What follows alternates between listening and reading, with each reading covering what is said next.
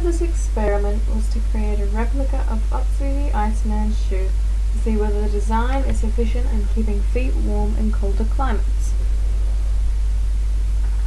The discovery of a five and a half thousand year old Tyrolean in the Alps between Austria and Italy in 1999 was an archaeological triumph. This provided a glimpse into how organic materials were used in the past and how they can be preserved in alpine conditions. Otzi had a complex kit, from grass cloaks to hunting tools, though his shoes portrayed a fascinating design. Referred to as the moccasin-like shoe, which is known to be the second oldest ever to be found, was unique for its time.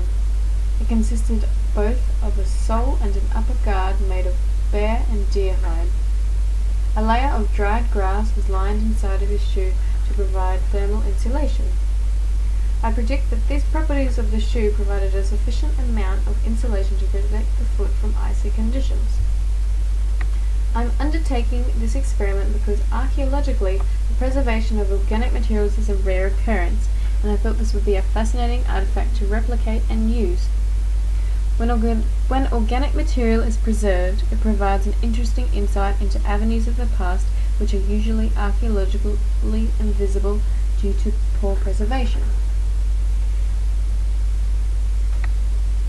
In this experiment, only cowhide was used.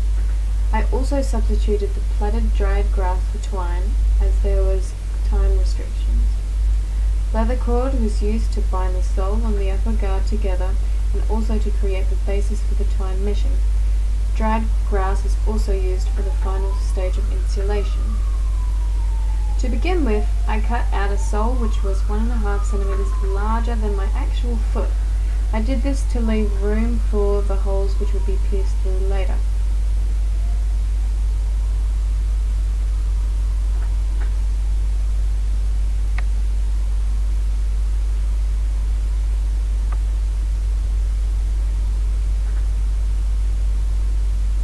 I then did the same for the upper guard of the shoe.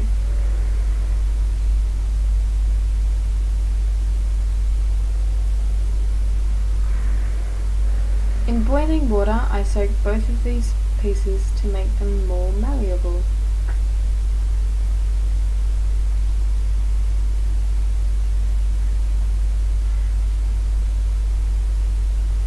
A river stone was used as a shaping tool to stretch the upper guard so it would fit nicely over my foot and also so the shape would come down and bind well with the bottom sole.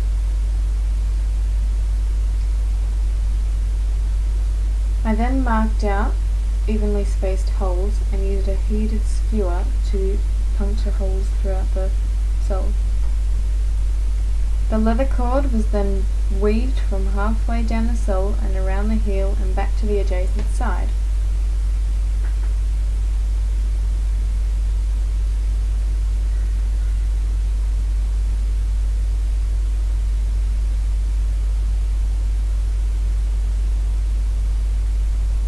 The upper guard was then attached on top, and the cord was then threaded through both pieces of material tightly.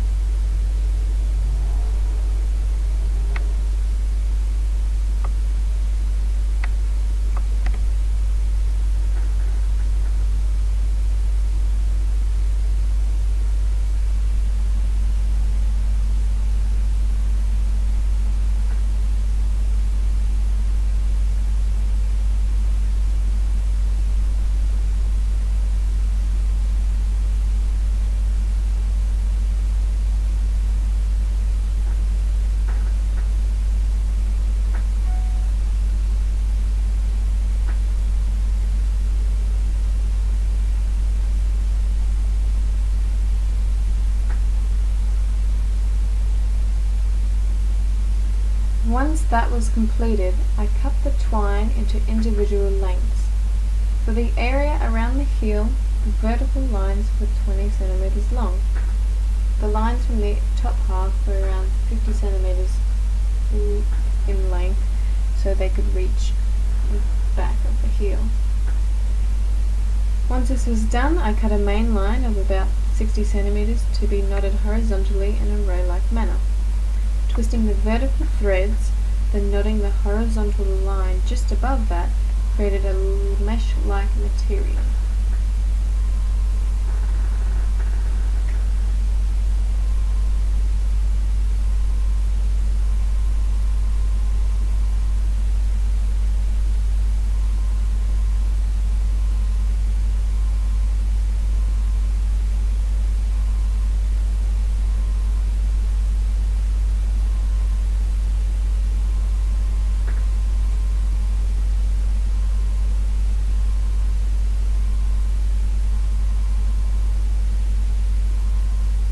After doing six rows of this weave, this is the final product. I found that upon wearing the shoe, it actually supported the back of my heel quite well with the weave of this, uh, the tight weave of the twine. I then created my sock-like lining of dried hay, which will serve as insulation for my foot. I line the inside of my shoe as well as the area around my heel within the twine mesh. Next I chose a shoe to use on my other foot to compare the temperature differences. I wore both shoes for about 10 minutes and then recorded the temperatures just beneath the arch of my foot.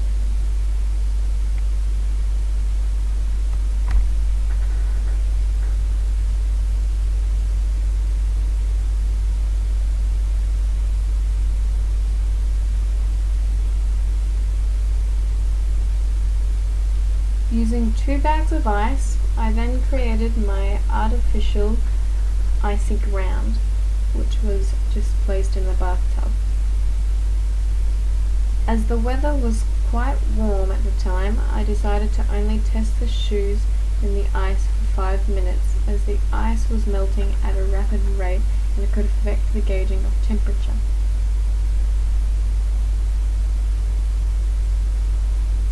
At this point, I could already feel Otzi's shoe losing heat, whereas the modern shoe retained heat quite well.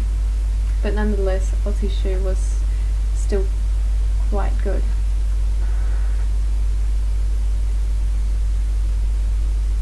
I also found that ice is very slippery.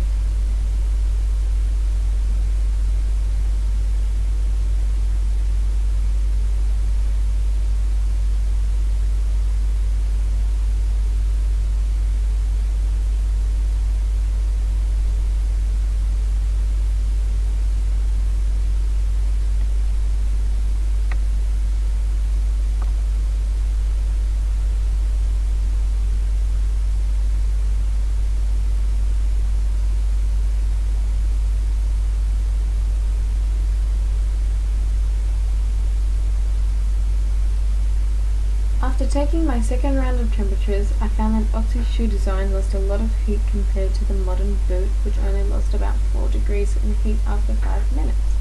And Otzi's lost um, about 8 degrees. Nonetheless, Otzi's shoes still kept my foot relatively warm. The parts around my heel, where the majority of the dry hay was, seemed to be the warmest.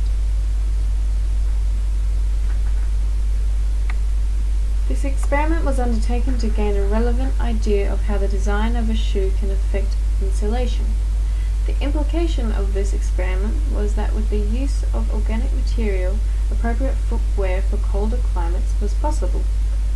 Even though my replica of Otzi's design didn't retain as much heat as the modern shoe, it still kept my foot warm and dry. With the use of animal byproducts, Otzi was able to create a technology to aid in his survival of cold environments. Organic materials such as Otzi's clothing and footwear greatly contribute to the archaeological record and our idea of what was used in the Neolithic period in harsh climates such as the Alps between Austria and Italy.